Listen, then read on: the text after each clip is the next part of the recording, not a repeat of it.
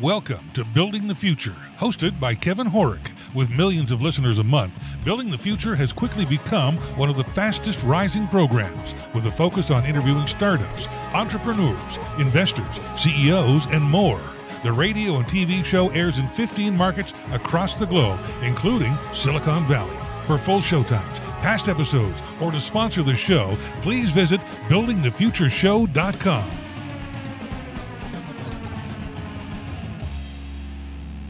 The show is a proud media partner for the 11th Annual Media Excellence Awards, which are produced by Access Entertainment in Los Angeles, California.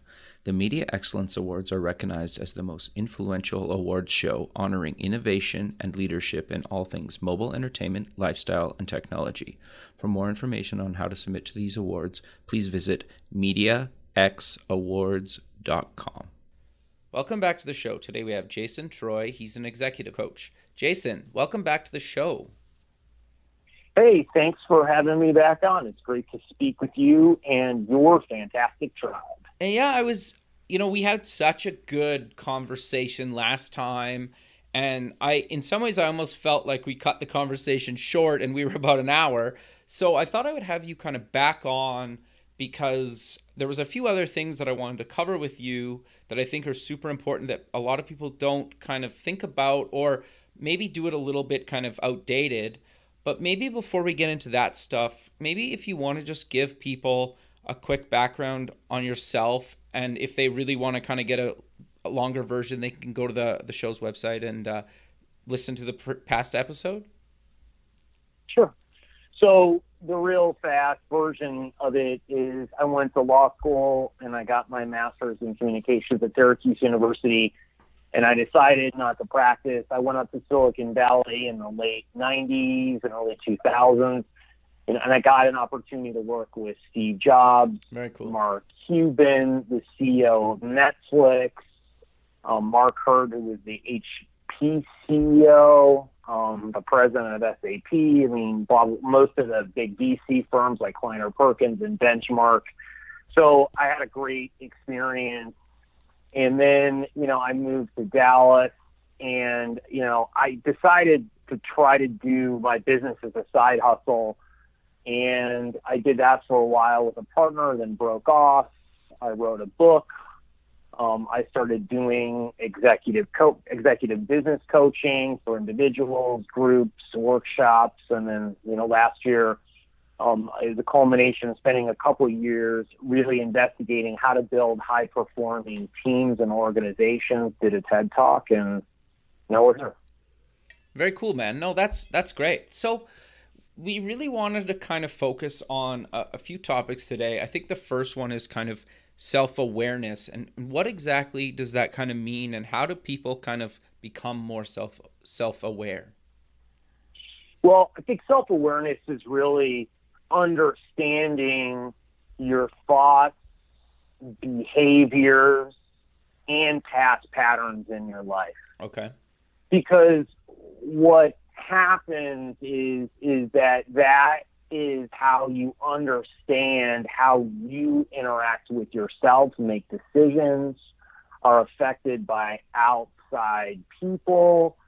I mean, you know, and and also how you find your own blind spot, right? Which are the biggest challenges people have, right? Because sure. the problem when you talk about people's biggest issues, and I've done this probably now five or six hundred times. Wow.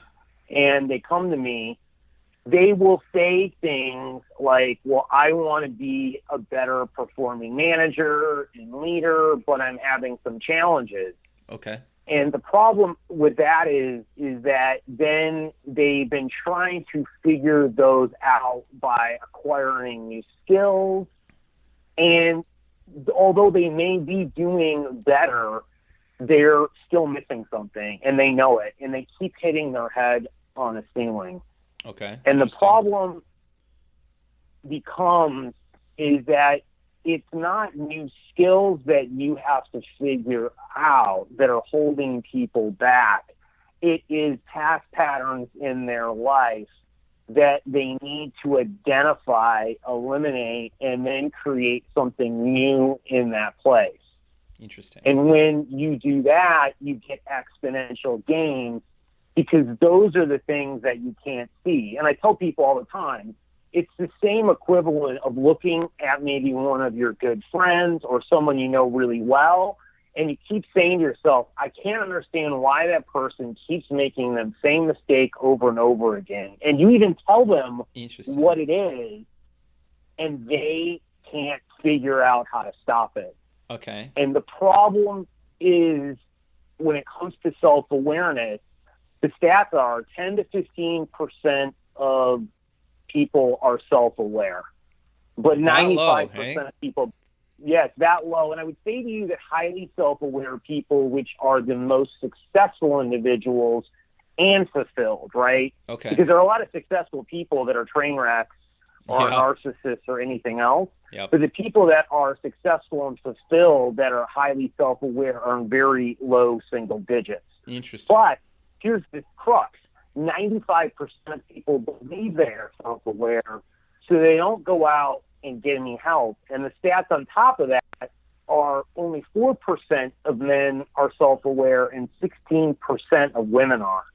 So it for men, it's even lower, oh, right? Wow. Now we're talking about very low, not even single digits, probably point something of overall men are highly self aware. So that becomes a lot of problems because you don't understand how you are really affecting other people around you sure. and how you're self destructing yourself. And an example would be so I went, and this is probably now eight months ago, to a CEO who brought me in. But again, this could be any level of person, and said to me, "I know my team could be performing better, and they're not." And so when I got talking to the team, and I only spent like five minutes asking them a couple questions, what they said to me across the board was not listening, not hearing, um, doesn't really care about my opinion. Uh. And, you know, when you get several people saying the same thing, it validates whatever the collective uh, group is saying completely. Sure. If you get only a couple people saying that, I would have discounted it. But when almost everyone said it, I thought to myself, that's, you know, that's a challenge. Sure. Well, if you go to someone with that data, right, and this is what most organizations do when it comes to self awareness, they'll do a 360 degree review, um, they'll do some sort of audit of other people, and then they'll go back and they will confront the person and they will say, Hey, we've you know, talked to people, and here what we believe is your biggest blind spot and if you approach someone like that, because our brains are wired for negativity, right? Our brain, sure. our brains essentially have not evolved since caveman days. Interesting. And they're wired for negativity because they're wired for survival to keep us alive. It's the fight or flight part of our brain. Right. So when you give people negative feedback, their first unless they've been trained and they understand how to internalize it and utilize that information, they will offload it and they will make excuses. So what he would say if I did bring it up initially, oh, my team doesn't get it. They're not committed. They're not really smart. I'm not Ah. really sure maybe I even have the right people. He would have given me tons of excuses. And then what would have happened is he would have relented at some point because I can, you know, relay the information in a way that I would have cornered him in. Uh, But then he only would have begrudgingly done learning new um, skills on listening, right? Sure. And then in the back of his head, he would have said, I'm going to get all those people who said that I was broken. Because when you tell someone and give them negative information like that, what you are essentially telling them is they are broken. And we don't want to be broken as human beings Sure. because if we're broken, right, back in caveman days when you were broken, it meant that you were going to be disconnected from the group. And disconnection from the group meant you would die because they would ostracize you and you'd be by yourself. And then you get eaten, you would die of starvation, whatever it might be. So that is how people's brains works. And what happens is is that they done uh, research on people on the performance reviews, and they've given them performance review where 90% of it was glowing and 10% of it was poor, Mhm. and then they asked people to remember um, the performance review and recite it back. Well, what do you think that they remembered? The 10% that was negative. Interesting. So, all right. So, in a situation like that, right? So, I get all this information, and I know that confronting it is not the answer because I know there's something deeper that we have to go back and figure out. Because when you, I look at people, what happens is, is the blind spots is about pattern recognition. Right. And success in business for people is about understanding their pattern, not only your own, but you can tell other people because people continually do the same behaviors. And so you can anticipate what they are going to do because that is who they are. And they usually don't grow in advance, they just stay in a similar mindset in place. So what I do is go back and start asking questions about what happened during childhood um, to begin with, right? Because that's where most of the problems start. Is, is it's usually either under the age of ten years old something happened, Okay. or they learned something, or it was some trauma that happened in their life that is causing the situation that's going on. Now, where you may find outliers in this are people who are sociopaths, psychopaths, narcissists, or you can get someone who has some level of a mental illness, right? But Sure. if we take those out, because that, that, that's not most people, um, you're going to find something that's going on. So in an instance like this, when I asked a question, I said, so tell me about growing up and your family. And he was in a family with six other people. And I asked, so how did you get mom and dad's attention? Mhm. And he, you know, would get said something, and I'm like, well, give me an example. And he said, well, I remember one time I was at the kitchen table, and I wanted to tell my parents about some school thing I wanted to come to, and so I elbowed my brother and my sister on either side of me really hard, and then I yelled, and my parents then heard me and said they would come Interesting. right? So what he learned at that moment was that not listening and yelling over other people gets me what I want. Interesting. And sitting back and listen. And then I asked a question. I said, so what if you just tried to not elbow them and then get your parents' attention? And he said, probably wouldn't have worked or it'd been really hard if I would have tried any other way to get any time with them and actually have a conversation, which I thought was interesting, right? Totally. So that solidified that. And then I asked a few other things that we went into when I brought up listening and doing stuff, and it was similar type thing. So I said to him, "It's like, look, your life is full of patterns, and that is how you create your thoughts, create thought patterns, which creates your habits, which creates you know your actions and your life blueprint." And so what you have to do is understand where your patterns have come from, and some of them are, you know, help you be successful and happy and fulfilled, Mhm. and some are bringing you negative consequences because they're causing problems. And some of them may have been good, but now are not helping you, right? Right. And right now, one of the ones that's not is your lack of listening, right? Because Sure. it may have served you, but it is no longer. And now the choice is you can either make new decisions to be happy and successful and fulfilled, or you're going to have negative consequences. And essentially, I got him to agree that 10 to 20% of the bottom line is being hurt from his lack of listening. And this is a half billion dollar company. Wow. So you can imagine that's a lot of money. That's a huge right? amount, yeah. And huge, right? And I said people leave, which means you'll have huge costs in hiring people Totally. and finding them and replacing them and time. So you have a choice. And then it's at that point he doesn't feel broken because also what I said to him, I said, look, it's neither good nor bad you're in this place, you're just here Sure. patterns are like ones and zeros like in computers it, it, it, it you didn't know what you didn't know but now Sure. you do so now you have a choice Right. Interesting. and right and at that point what happens is it's like a boxer putting themselves in the corner i didn't get this information from a third party and relaying it. It's coming from him. Right. So he can't say to me, I'm lying or I'm mis- mischaracteriz- mischaracterizing the situation or painting in facts because I'm literally just repeating what he told me. So there is no resistance. Interesting. Right. And when, right. And when there's no resistance, what happens is then people go and dive in a hundred percent. And then I was like, look, the other part of doing this process, which is great, is that these, what I'm going to give you are one to two degree shifts. And that's what I give everyone. They're not big things.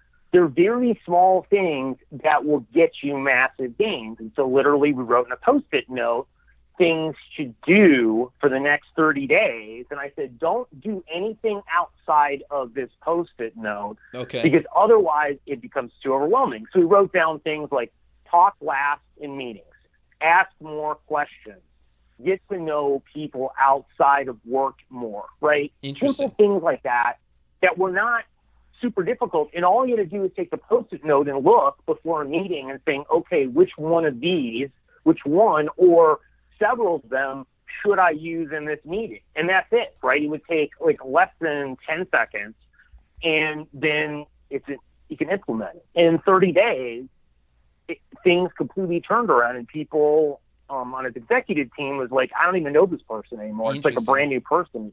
They were like, "Whatever you're doing, keep doing it with them," and it was a simple fix, right? And Sure. then he got the evidence pretty quickly because I not only did I tell him that, he saw it in how other people interacted with him Sure. and then he said to myself, like, he was like, I just couldn't believe that it was something I couldn't see and didn't know, and how negatively affected me and the people around. And it was so easy to change, right? So, sure.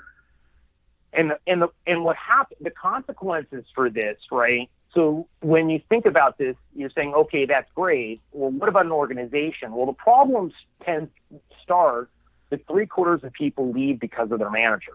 Yep.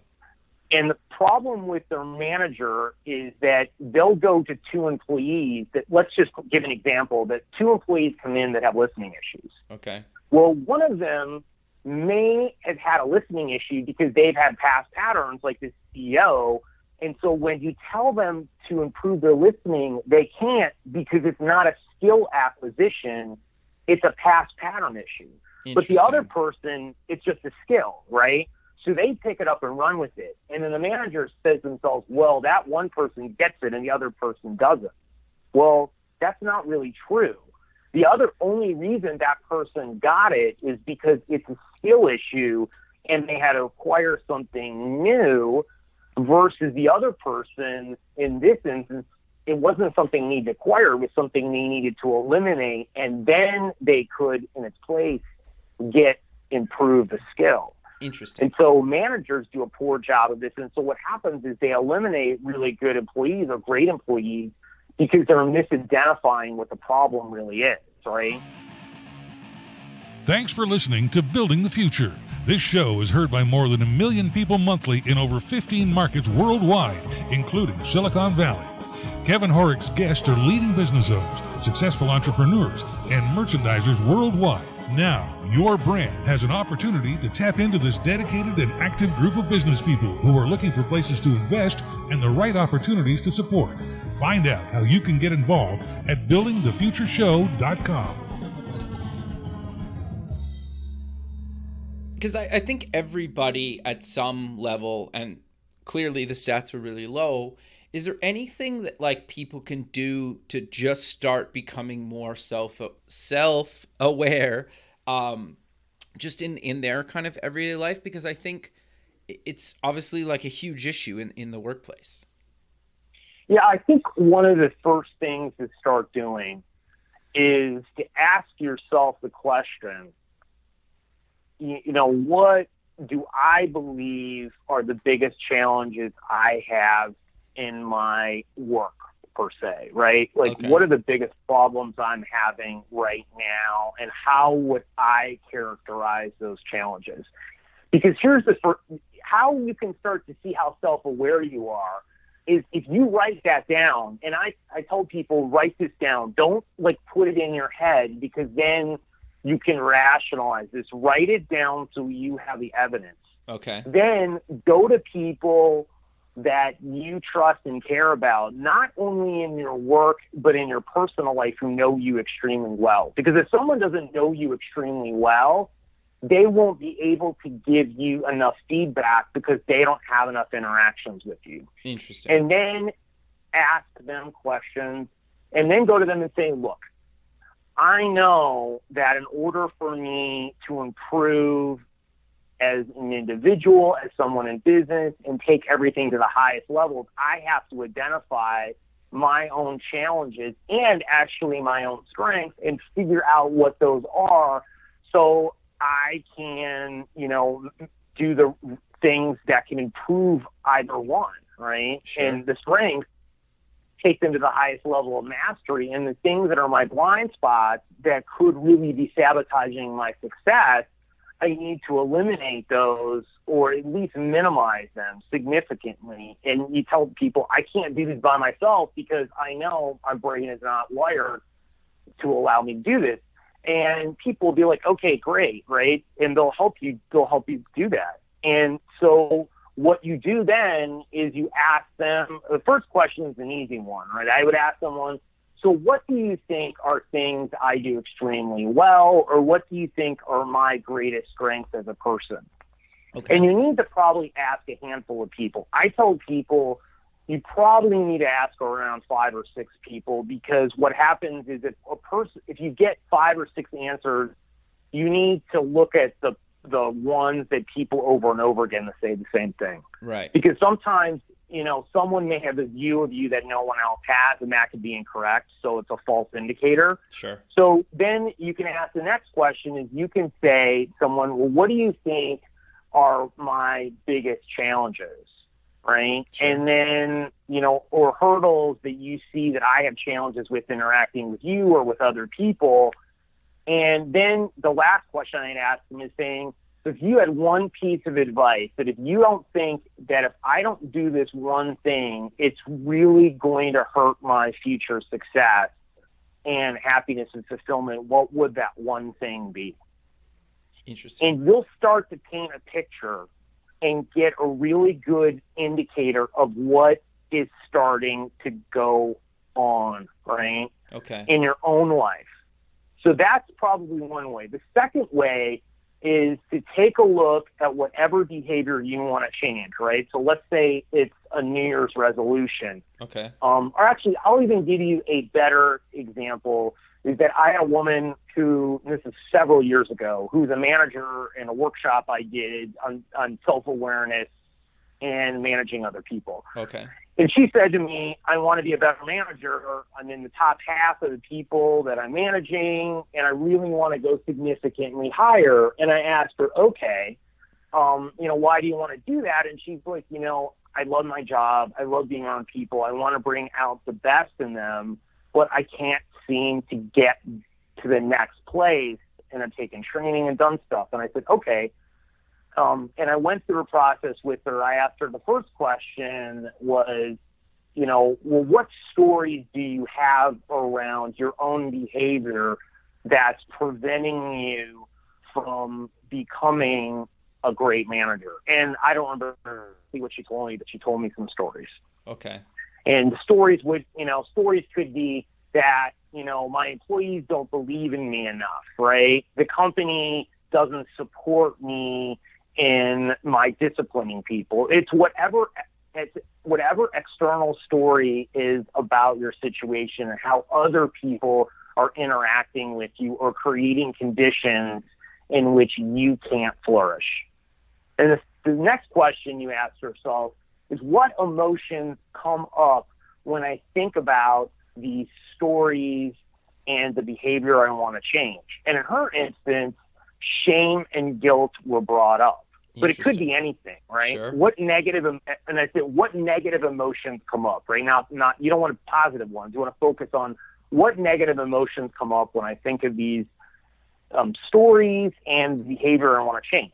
And hers was shame and guilt. And then the next question after that, and that question on emotions is once you start to understand the emotions, it helps you start to dig deeper into what's really going on because your emotions are the gateway which opens up all of your answers. They're the early warning signs. It's like if you get really nervous before doing something, it can just be that it's a huge event.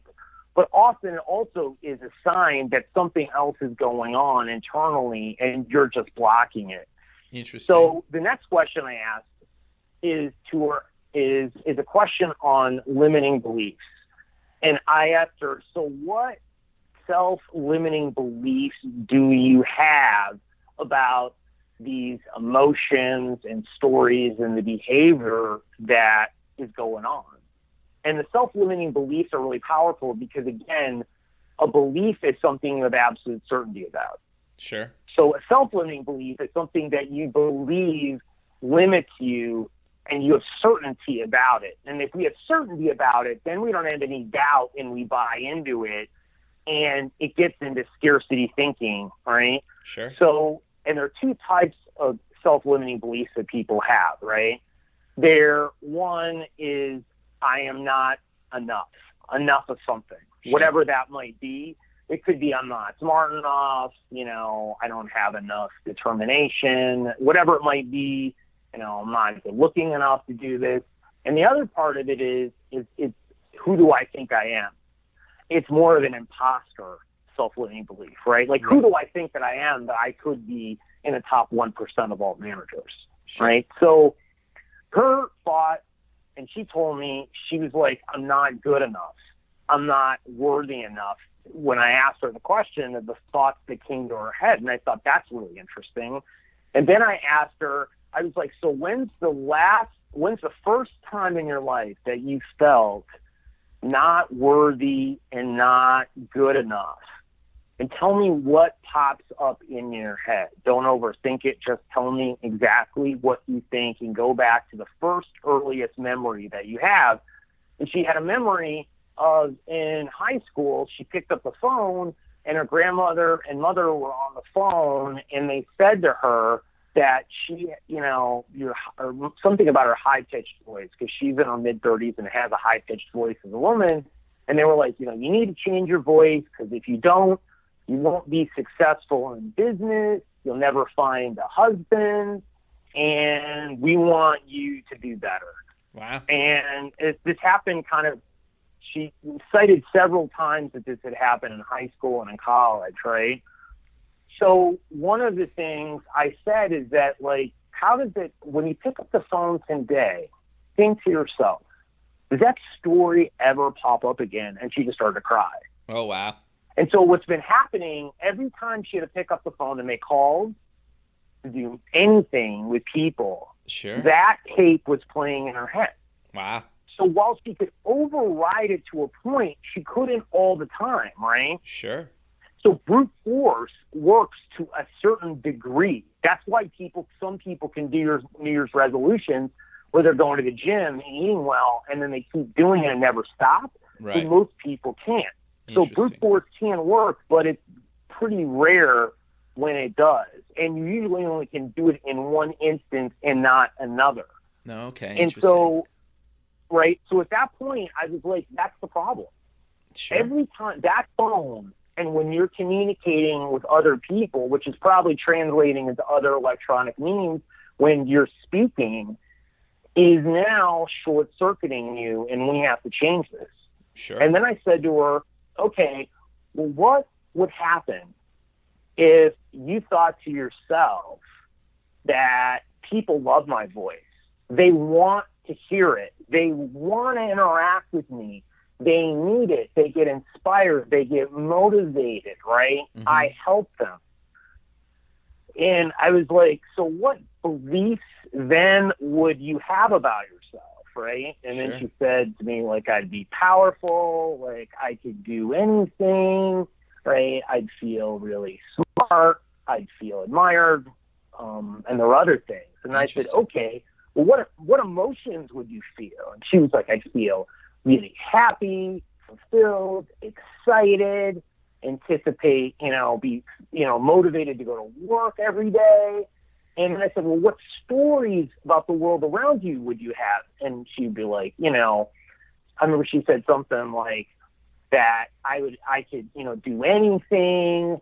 I could get all my employees to be successful. The organization would be bought into me. And and I was like, okay, well, what behavior then would that all create? And she said, well, I'd be a top manager in the business. Interesting. And I said, great. So I so here's the action I want you to take, and I want you to remember all this. Is I want you to now, with every phone call, with a prospect, with your customers, with your team, and the company itself, I want you, when appropriate, but to take action within the next week or weeks. I want you to share the reason you got in sales was because of that phone call that your mom and grandmother gave you, and I want you to tell exactly what you told everyone here about that. Interesting. And share it and be very vulnerable, right? Sure. And what happened, right? Because here's what happened. I mean, think about it this way. I knew what was going to happen because when we lead with vulnerability, right, when appropriate and when we have boundaries, Sure. it inspires other people and allows them to open up because it's saying to them it's safe to share. So then they start sharing vulnerable things with us, which then fast tracks trust, which then fast tracks building a relationship with people, and then you're off to the races. So what happened is is that she got lightning results and, you know, within the next quarter, she jumped up in like the top 5% of salespeople Wow. and her team's results went through the roof, right? Because she inspired them. And then they started sharing things with her. And then she would just talk to even prospects and do some of it, which she normally didn't do that much of. And she would close people super fast because she would just tell them the story. And then they would just tell her things. And again, we buy from people we like, not necessarily the best solution, price, or whatever, right? Sure. I mean, that's how we operate.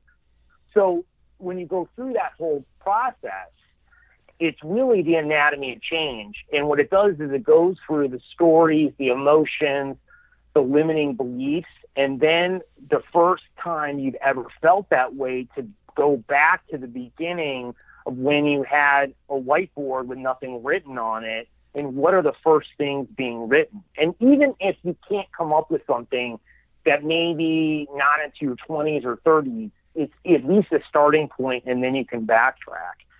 And it's hard to do this by yourself, but you can. And you can do it with a friend or you can find a coach. It's probably the best thing to do. But when you do that, you can find your blind spots. And both of these processes, if you do that, will help bring up enough of the information to solve whatever problem that you are having or that are unaware of. And the problem is, is that the people around you are probably unaware of it too, because they're not looking for it.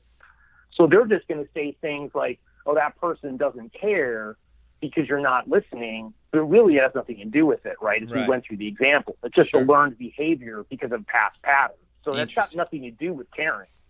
Yeah, interesting. That's fascinating. So, and and then I guess that kind of evolves into how you kind of interact with people, um, whether they're kind of employees or other kind of partners in the business, right? Yeah, because here's the problem: if you don't know what's going on inside of yourself, Yeah.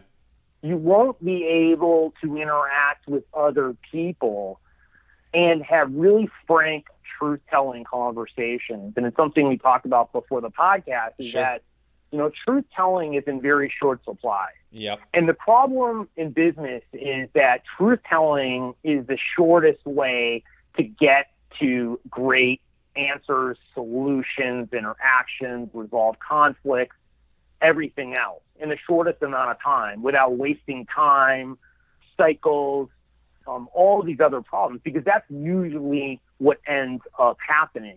And it's because we make up stories to fill in the evidence, right? I mean, that's Sure. ninety percent of people, um, what they do in to create stories is they're conspiracy theorists, right? An example is, let's say you were in a meeting Okay. and someone asked you a question and you gave an answer, and the person across the table from you rolled their eyes. Okay. And I, Interesting. I've asked this years ago to hundreds of people, and I said, "So what would you think?" And they would say, well, that person across the table didn't like me, didn't like what I said, right? Or there's something about me that irritates them. Were the three most common answers. Okay. And I said to them, I said, you're just like JFK, an Oliver Stone movie. you realize that the only thing you know is that you said something and the person across the table rolled their eyes. Sure. Those are the only two facts you have. But we fill in the facts with conspiracy thoughts. Interesting. Because we don't know the answer because we've never asked the person, so we don't honestly know. Sure. There's no way for you to know based on that, right? Sure. That person may have gotten a text message that from their kid who was sick. They may have Sure. gotten a text message from a client who was mad. They may have had their own boss come in and say something that was really negative. You don't know what it is. Sure. We're our brains are wired for negativity, so they bring in the negative spots against ourselves first, rather than taking in consideration the other possibilities. Interesting. So, right. And the other thing that happens, so what happens in a situation like that, let's say that plays out, how you would deal with that and actually do it in a way that would build a stronger relationship with that person and get the answer that you would need to figure that out is to talk to them privately and say to them, look, the story in my head that I'm making up is that you rolled your eyes at me because you don't like me or like what I said. okay. You know, and I just wanted to have a conversation about you because I want to have a great working relationship with you. And if you say the story in my head I'm making up, you're already telling someone you're making up a story. right. But it's the one that you have and you are trying to start a conversation. So then that allows them the room to say, no, Kevin, that's not it at all. What it was is that, you know, I had my kid was sick and, you know, my husband couldn't go and pick up. So now I've got to run out of here and I've got all these meetings today and I'm not really sure how to get that done, blah, blah, blah. sure. And then you're like, oh, and now you know. And now you don't have any negative feelings towards that person, which will hurt your working relationship, which hurts you, which Right. hurts the other person, and which hurts the organization, right? Sure. And your manager and everyone else in the ecosystem or surrounds both of you. But if you have it, it doesn't. So that's the problem that starts to go on when you don't have these conversations with people. So one of the things that I tell people to do is to lay down a map of their organization and the people that are on every rung. Okay. And what you want to be able to do is your manager and your colleagues are the right places to start, but then you want to go to your manager's manager and people higher up and start having these conversations with them because then you're going to be able to understand how the organization works. You're going to build strong relationships and you're going to pulse on where your relationship is with that person.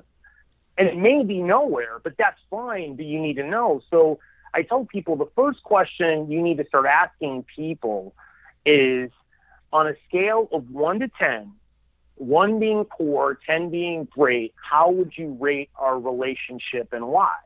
Interesting. And then you have a discussion. It could be brief, it could be longer. And then you say, well, how can I move this closer to a 10? Sure. Right? And so a couple things happen, right? Is that one, you actually get a specific number. So you know categorically for sure where they are rating you and why that they believe that to be the way that it is. Not the way you think it is, but the way they view it. Sure. Right? So that's extremely helpful. And then you get them to tell you how you can move it closer to a 10. So you don't have to guess. Interesting. You don't have to say, well, let me go get them donuts or brownies or a, Sure. a coffee or do this and, and hope it works. They're going to tell you more or less what you need to do. And you would ask that question to your colleagues probably once a quarter because you want to continually improve those relationships and monitor them um, in a way that's helpful. you would want to ask your boss that question every month because you'd want to keep a pulse on it. Sure. And the conversation could be too too could take a minute. Sure. They might say, uh, "It's great, the nine, and just keep doing what you're doing. I don't have anything to really think about." And Okay. then that's it, right? Right. But they could say it's a four because I didn't like the way that you said something in the meeting um, that disagreed with me, and then you can have a conversation about it. And people who you report to you, I would have it once a month as well, because then they'll know where they stand with you, and that helps you not become the bad boss, right? Interesting. No, that's And the second thing keep go going. ahead. Sorry. No, keep going.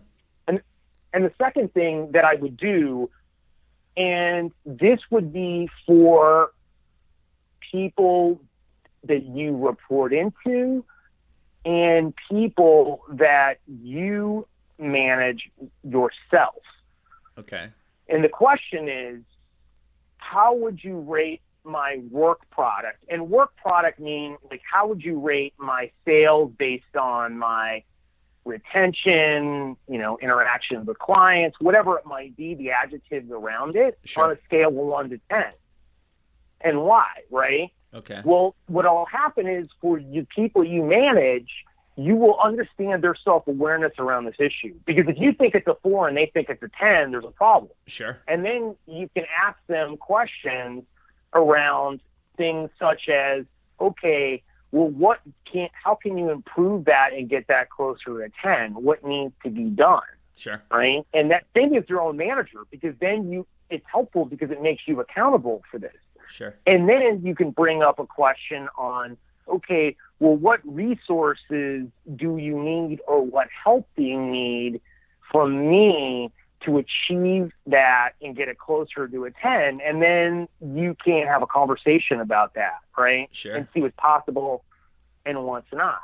Interesting. But right, but it keeps a lot more truth telling in the process, right? So those things are questions that you can start doing with people immediately on a consistent basis to make a major impact and to make sure everyone knows where everyone else is at on a 30 day basis. And so the other part of it is you're getting a performance review once every month right.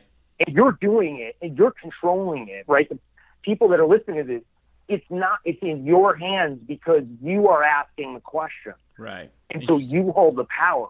You don't have to wait for your manager to ask it. You don't have to wait for the feedback.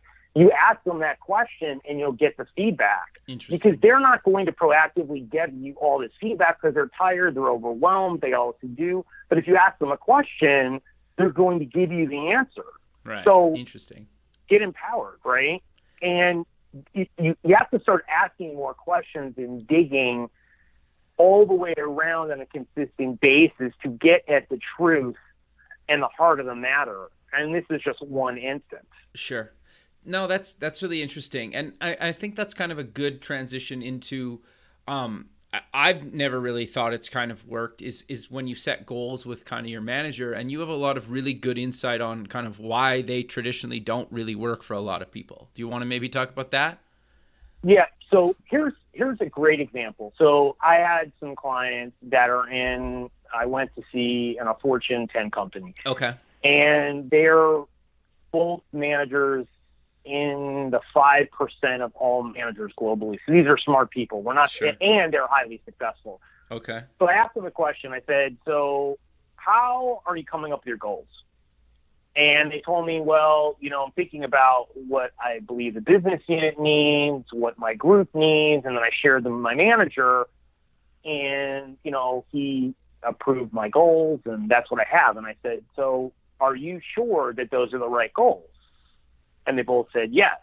And I said, "So, have you shared these goals with all of your colleagues? And they said, well, some of them. And then I said, well, have you shared these goals with other heads of the business unit and gotten their feedback or your manager's managers people, right, on their Sure. level and got feedback or understand and understand what are their goals and understand what are their key initiatives, what are their key challenges, and of course, they both said no. And I said, so, so I said, are you really sure that your goals are supporting a business unit? And then they stopped and I said, you're relying on your manager doing your work, right? And you know what happens when you make assumptions? And you know that your manager actually has done that. And they were like, we don't know for sure. We believe, but we don't know. And I'm like, okay, you're making a lot of assumptions and you're probably wrong. Interesting. So what you have to do is start thinking like a CEO. A CEO thinks from the top down. They don't think from the middle, and that's the problem. You have to. They always say like you should be thinking and operating like one position above. I'd argue it's two, or even a better position is to assume that you're CEO or the business unit or the company. Interesting. Because then what happens is you're going and asking all these people those questions. Sure. What are your goals? What are your challenges? What are your opportunities? What are your threats? Right? Sure.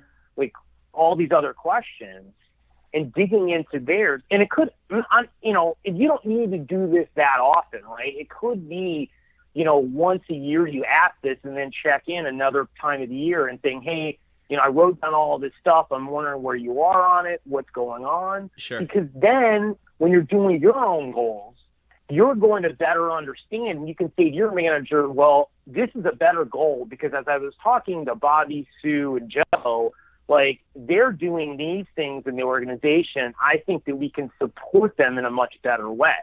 Well, you'll be the only one doing that. Your manager will see that and then they may say, well, how did that come about? And saying, well, I realize that if I don't think like a CEO, I'm thinking in a siloed way and sure. scarcity mindset because I'm only thinking about my own work and our groups, not how we can help support and serve other people and actually make the greatest impact on the organization. Well, your manager and your manager's manager are going to be like, wow, that person is a leader because Totally. that's how a leader thinks. They don't think about what's in it for them. They think about what's in it for the organization. And that changes everything. And you're going to have better goals. You're going to have better results. You're going to have great relationships, right? Because the other part of it is now you know all these other people. Right. And when a promotion's up, you are now going to have a lot of advocates because interesting. they'd rather have you in that position who actually has interacted with them, cares to have done it, taken the time, has shown that they're thinking across the organization, is a problem solver. You probably help them with something as well. Sure. Because the other part of it is when you ask all these people, you're going to see holes in the organization.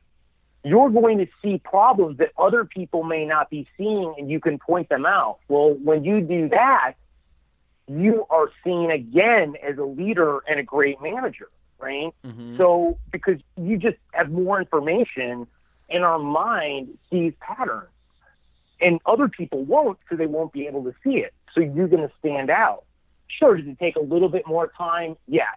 It doesn't take that much time when you really think about it. I'm not, Sure. you know, these are 30 minute meetings Yeah, yeah. Interesting. it's not it, it's not you you're less concerned about sharing your stuff with them you're more concerned about getting information from them sure you can share your goals but they're not going to be as concerned about them because you're probably not going to be directly necessarily affecting them with the things you have to do but if you say to them I want to talk to you because as part of this organization, I need to, I want to understand what your opportunities and challenges and goals are so I can better support you and create better goals for myself that support, you know, my group, my team, the organization, and also that I can spot holes and opportunities that I may be able to help and also help you solve as I'm talking to other leaders. And they'll be like, okay, I'll take that meeting Sure. right? I mean, who's going to say no to someone who's taking initiative like that? No one, Yeah, right? interesting. So, right, so that's how you do better goal setting, and you don't have to sit there and beat your head and think, "Do I have the right goals?" You'll know if you do or not because if you talk to the person who's heading finance, you might say to yourself, if you're in sales, "Well, how does this affect me?" Well, if a problem is collecting from people or finance views the retention rate as poor, there's an opportunity for you to start finding holes and getting involved and looking at your goals. You may not, but at least you understand what's going on and you could alert someone else saying, hey, this is on their radar to someone in operations or someone else in sales who's on this. You may want to talk to them to see what the impact is and how you can work better together um, in solving this or at least communicating this because they're viewing this as a problem. Well, now you're seeing as someone who's plugging holes on both sides. Sure. Does that make sense? No, that's that's really great. I, I think that's really good advice for for people out there. But we're kind of coming to the end of the show. So I know we talked about it a lot in the last episode, but do you maybe want to just give a quick overview of, you know, what you talk about in the podcast, some of your other services, and your uh, your your team building game?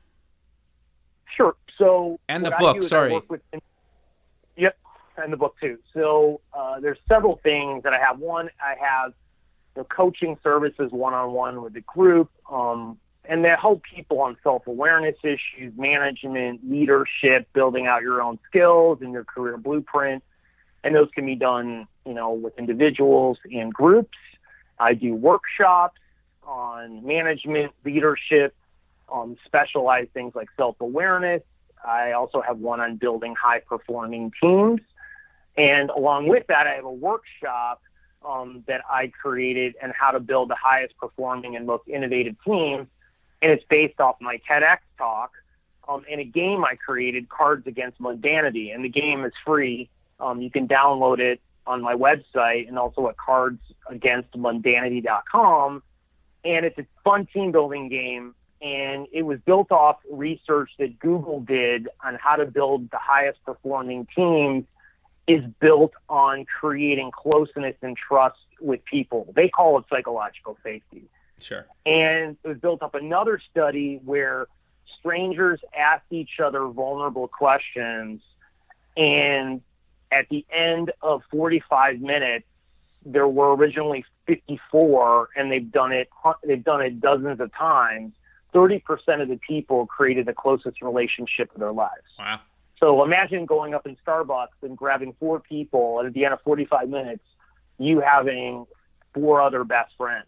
Yeah, that's, that's wild, right? What this game can do for you. Interesting. Super. And I've done it with 5,000 people who played it, and companies like Amazon, Oracle, Microsoft, Google, tons of others have as well. Very cool. So that's there, and then you can get my book, Social Wealth, um, on Amazon, and that's how to build great business relationships. And there's tons of other stuff on my website as well, jasontreu.com, and that's jason, T-R-E-U.com.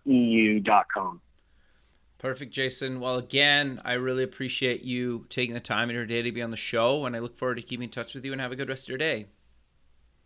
Thanks. Thanks, man. All right. Okay. Bye. Thanks for listening. Please visit our website at buildingthefutureshow.com to join the free community, sign up for our newsletter, or to sponsor the show. The music is done by Electric Mantra. You can check him out at electricmantra.com and keep building the future.